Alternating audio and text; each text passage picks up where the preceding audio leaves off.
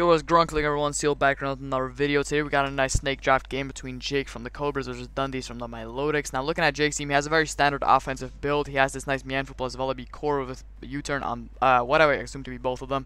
To U-turn in some threats like the, uh, the I was going to say Vullaby, this is a Wingull, and the Abra and the potential trapping Diglett as well. Then he has some nice Ferroseed, Spike support potentially, uh, definitely has the rocks on this.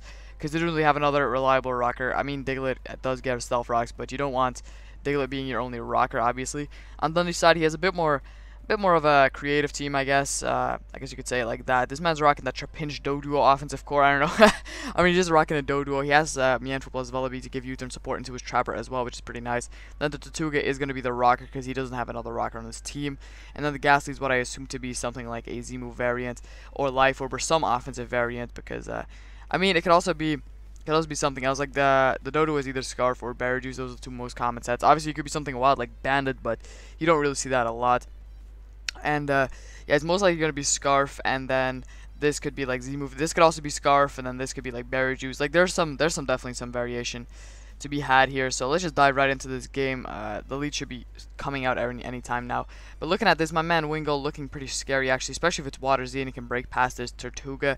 Then on the other side, Dodo is actually looking very scary as well, especially if it is Scarf. I mean, both Scarf and just look pretty scary. Scarf looks scary because it can outspeed Abra and Wingull. And um, Berry Juice looks scary because it doesn't really care too much about Ferroseed chipping it down and it doesn't really care too much about getting chipped down in general. So both looking pretty scary. Now it's going to be a double lead right here. Jake can never stay in here. Like, there's no way you just risk your Wingull turn one to a potential Scarf Dodo. I think you just switch out to, I guess that's first. You can go to first to pivot out here.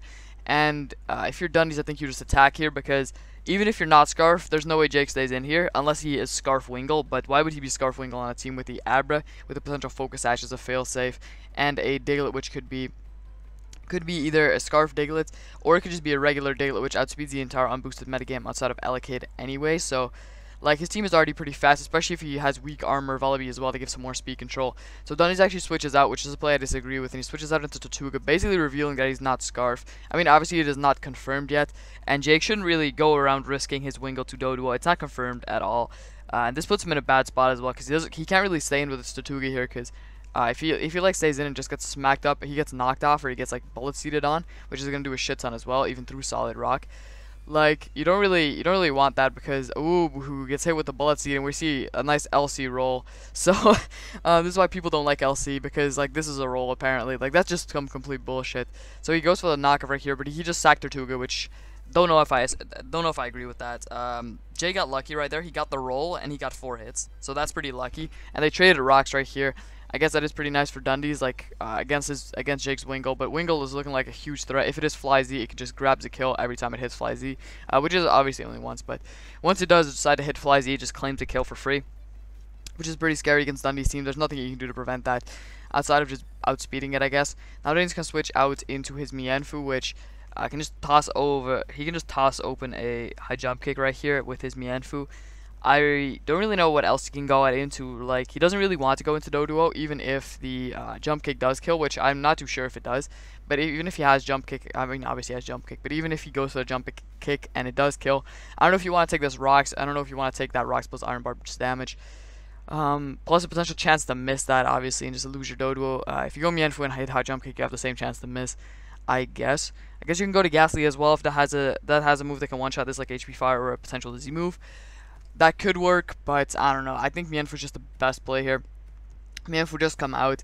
Now, if this is Reckless, this is going to be a huge, huge threat because it just claims one here. If it's Scarf Reckless, like, uh, we already saw that the Dodo is probably not Scarf because it switched out from the Wingull. So this is probably going to be Scarf Rec... Uh, I mean, it's not going to be probably going to be Scarf Reckless, obviously, but it definitely could be Scarf. And if it is Reckless, it can just toss over a high jump kick right here, and it's going to claim one. Like, look at Jake's team. No answers to um, to this at all. Very weak to this, although it's not that common, Scarf Reckless, but it's, yeah, it's not that common, but Jake's team is very weak to it because it's an offensive build, so he could just throw out his Ferroseed right here. Doesn't really do too much outside of chipping down the uh, Doduo. But yeah, I guess he could toss out some other Mon as well. Like Diglett's looking mighty useless. I guess he could toss that out. But yeah, I don't know if tossing that. I mean, I guess he could toss Diglett out because it's not looking too useful. Although if it is Scarf, it can just keep some things in check. Maybe revenge kill a Pokemon that's low. Like Diglett's always nice to have, and if it's Groundium Z, it's it's it might even be a bit nicer to have to revenge kill like a uh, Mienfoo or Trapinch. But Dundee doesn't have a lot of Pokemon that get trapped, and like the Pokemon that do uh, that are grounded and do get trapped are like not things that you just immediately trap with Diglett. So he does decide to sack off his Ferroseed to high jump kick, not wanting to risk either Vullaby or Wingull, which would be able to slurp up a regular hit, but um, like Vullaby can can't return the kill back onto Mienfoo. And now Jake just goes hard out into this big boy Wingull over here. And I think he just hits Fly Z because I'm not sure if Hurricane actually one-shots if this Mienfoo is Eviolite. I think Fly Z is just a play here. You guarantee your kill. And Dundee stays in, you just snatch up your kill. If this is Scarf Reckless, um, this is a bit of an L for the boys, actually, because this Wingull is probably going to topple over. I'm not sure if this is just me head calking. It might have a chance to live, but I know all I know is Wingull has shit defense, and Scarf Reckless Mienfoo hits so, so hard. So yeah, like if it is if it is that set, it's just gonna nail this Wingull, but it's not that common. So Jake, I mean, if Jake really wants to scout for, he hits protect here, but I think Fly Z is just a better play to play a bit more offensively. Obviously, Dunny doesn't have a lot of Pokemon that like outspeed this. Uh, he has a potential Scarfer in Gastly or Doduo, but I don't think he would throw those out there. I think he would throw out like, what would he actually throw out? I'm actually not too sure what he would toss out. Maybe the Vullaby. Um, uh, looking at it, though, he could toss up the Vullaby, or he could toss up, like, Gastly, maybe? Gastly doesn't do too, too much this game. I mean, if it's Scarf, it can outspeed uh, the lot of Jake's team, but if it's not, it doesn't really do too much. I guess he tosses out one of those two, so I guess you don't necessarily need to hit Fly Z immediately. I guess you could protect if you want to scout for the uh, Scarf, but I don't know. I think just think Fly Z is the better play offensively just because it just guarantees you that kill, you know, like this is going to be a very fast-paced offensive game. Can already tell from the teams. So you do just want to if they're like there's a free kill. Uh, this is this is assuming it is Z. If it's like barrage or something, you just toss over a toss over toss up a regular hurricane. So the Vullaby does get sent out and just drops to Sky Strike. So yeah, this is the Z move user. So that's wild. I guess the Diglett is Scarf then. It could also be Life Orb or some other set, but Scarf is the most common and I guess it would make a bit of sense. So now this Dodo just comes in and can just scare this uh, thing out. Jay could just go out into either Diglett, which doesn't look too useful, or I guess Mienfoo, which not looking. I mean, Mienfoo actually has a bit of use. Uh, Diglett's not looking too useful, so I guess he can throw that out. Then he doesn't really have a switch in. He could go Diglett into Abra, I guess. Um, but if he doesn't have Protect, that can get a bit nasty because if he does have Protect on the Abra, he can at least protect on the Mienfoo's potential Fake Out if that's not Scarf. And if it is Hmm. Yeah, like if this is Scarf Demian, who's obviously not Scarf, as Dundee. Oh, oh, Dundies just got molested. All right, so this is over. this is over like the snow over. Um, Jake does not care. This man actually like has negative like negative fucks given. He's like, all right, you're not Scarf. You switched out on me turn one. There is no way you are Scarf. If you're Scarf, you would have clicked Braver there. This is why I disagree with that play that Dundies made turn one. Uh, I wouldn't necessarily call it a choke, but it's just a play I disagree with. As Jake can just toss up a protect here assuming this Mienfoo is Scarf, he can just scout what it locks himself into, which is Rock Slide. So he can just go out into Mienfoo or Diglett here on the Rock Slide. No reason to stay in or make some like wild play. The Gastly comes in if the Diglett comes in, that's great for Jake. Yup. So if this has pursuit, he can trapulate this.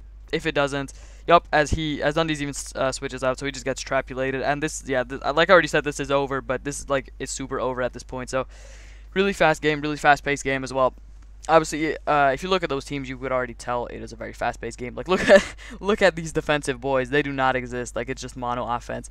But yeah, Jake just pummeled Dundies here, I guess. Um, overall, I think it kind of went wrong when Dundee sacked the Tirtouga, but he didn't really have another good play. I guess he didn't really have the best plays around Ferroseed, but I definitely disagree with sacking Tirtouga. and I disagree with switching out turn one as well, just because I guess like you you don't want to risk your Doduo, but there's no way Jake would risk his Wingull. Like looking look at what Wingull does to Dundee's team, especially if the Tirtouga gets weakened or knocked off. Like Tirtouga doesn't really want to switch into Scald then like especially if it's Z move. Like it, it, like if it was Water Z Wingull, I could have even blown past the Tirtouga with the Water Z potentially if it was weakened. So I don't know. I disagree with um like I, I disagree with the play staying in. I dis- disagree. I disagree with not staying in turn one because there's no way Jake would have risked this. But yeah, that was my essay on uh, why that was the incorrect play. I mean, I can't say too, like it's it's obvious like you did you just didn't want to risk Doduo looking at what it does to Jake's team. So even if it was Berry Juice or whatever that was.